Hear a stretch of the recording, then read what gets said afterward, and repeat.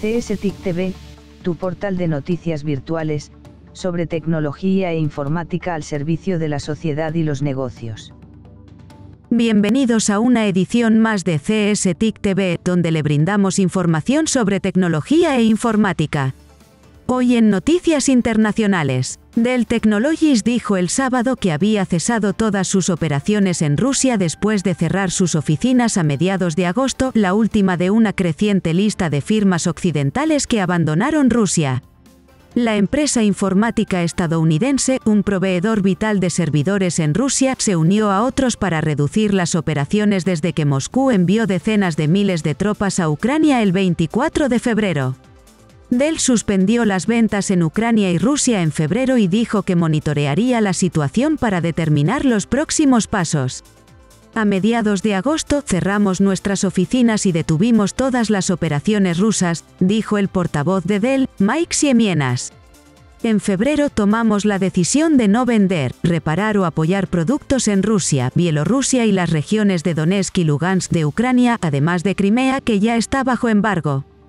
Rusia anexó la península de Crimea en el Mar Negro de Ucrania en 2014 y reconoció a las autodenominadas repúblicas separatistas en las regiones de Donetsk y Lugansk en el este de Ucrania en febrero, medidas condenadas por Ucrania y las naciones occidentales que han impuesto sanciones a Rusia. El Ministerio de Industria de Rusia dijo el viernes que a muchos de los investigadores e ingenieros que trabajan para Dell en Rusia ya se les habían ofrecido nuevos trabajos, luego de que los informes de los medios dijeran que la compañía estaba saliendo por completo. La publicación centrada en la tecnología C-News informó esta semana que Dell abandonaría Rusia por completo y despediría a todo su personal local.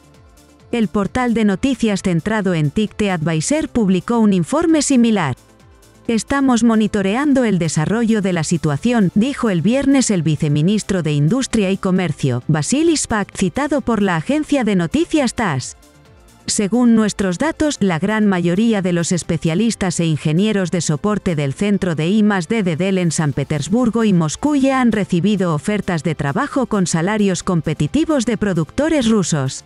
Continuando con las noticias. Se espera que el mercado mundial de baterías para vehículos eléctricos alcance los 250 mil millones de dólares para 2030 con una demanda que supere los 3,5 teravatios hora, dijo Wang Gang, presidente del Congreso Mundial de Vehículos de Nuevas Energías de China. Seguimos. Facebook de Meta acordó en principio resolver una demanda en la Corte Federal de San Francisco en busca de daños y perjuicios por permitir que terceros, incluido Cambridge Analytica, accedan a los datos privados de los usuarios, mostró un expediente judicial. Los términos financieros no fueron revelados en la presentación del viernes que solicitó al juez suspender la demanda colectiva durante 60 días hasta que los abogados de los demandantes y de Facebook finalicen un acuerdo por escrito. La demanda de cuatro años alega que Facebook violó las leyes de privacidad del consumidor al compartir datos personales de los usuarios con terceros como la ahora desaparecida consultora política británica Cambridge Analytica. Facebook ha dicho que sus prácticas de privacidad son consistentes con sus divulgaciones y no respaldan ningún reclamo legal. Y por último, Bitcoin cayó por debajo de los 20.000 dólares el sábado, continuando una caída que lo ha llevado casi un 60% desde su máximo anual.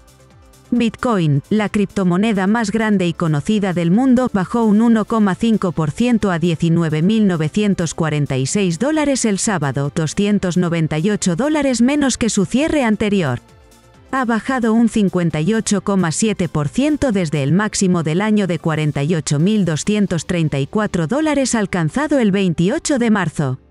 Mientras tanto, Ether, la moneda vinculada a la red blockchain de Ethereum, cayó un 2,76% a 1.467 dólares con 20 centavos, perdiendo 41 dólares con 60 centavos desde su cierre anterior. La caída de Bitcoin se produce después de un día débil el viernes para la moneda, que cayó cuando Wall Street se desplomó y los tres puntos de referencia terminaron más de un 3% por debajo.